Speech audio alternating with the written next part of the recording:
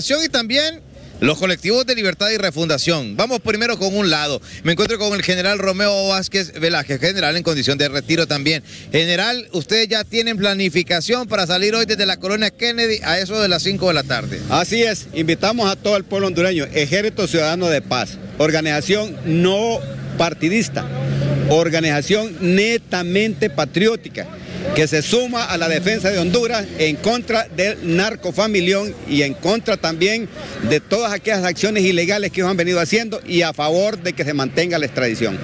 Ah, eh, general, es algo que se le pregunta a usted que también estuvo en aquel tiempo, ¿a qué le recuerda este ambiente político que hoy estamos viviendo? El mismo ambiente del 2009. Lo que no se sabía en el 2009 era, era que realmente estaban financiados por el narcotráfico. Bueno, ya se sabía algo, era que estaban siendo financiados por el narcotráfico, porque estaban financiados por Chávez y o sea con el cartel de los soles.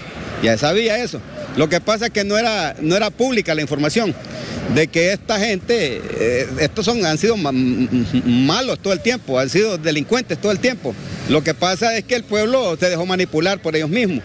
Imagínense todas las delincuencias que han hecho, que incendiaron eh, edificios, fueron a querer quemar la embajada americana, el Marriott, eh, el Popeye le metieron juego, quemaron buses, mancharon paredes, que, quebraron vidrios, hicieron tantas, tantas delincuencias y ellos continúan en la impunidad.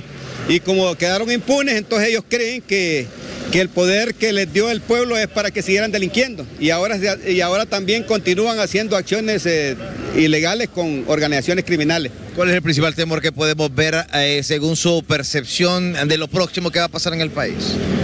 Bueno, mire, si los hondureños nos dejamos, esta gente se puede quedar y se pueden inclusive dar un acto golpe. Ahí están ellos ya lloriqueando, ay, que no quieren dar golpe de Estado. Son actores, así son mejores que los de Hollywood.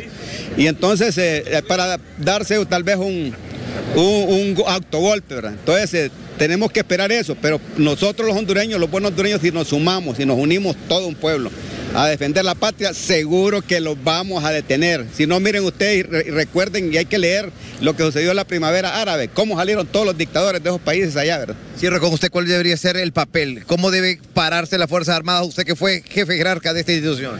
La Fuerza Armada debe cumplir su misión constitucional y no meterse en asuntos políticos y no se dejen embarrar. Simplemente manténganse al margen, cumpliendo con su misión. Recuerden la misión que es una institución apolítica no se puede meter en asuntos políticos y los líderes políticos les recomiendo, no den, y, no den discursos políticos porque los arrastra. Estos políticos son malos, de ellos los que quieren es utilizarlos a ustedes, los van a utilizar como andamios y después de cuando no lo necesiten les van a querer dar la patada. Ahí está, Romeo Vázquez Velázquez. Primero la invitación a esa marcha que va a comenzar en la colonia Kennedy hoy a las 5 de la tarde y también el ambiente político, cómo lo percibe quien también fue uno de los actores fundamentales en aquel tiempo del 2009, el general Romeo Vázquez Velázquez. Alan Godoy me acompaña en cámara. Volvemos con ustedes.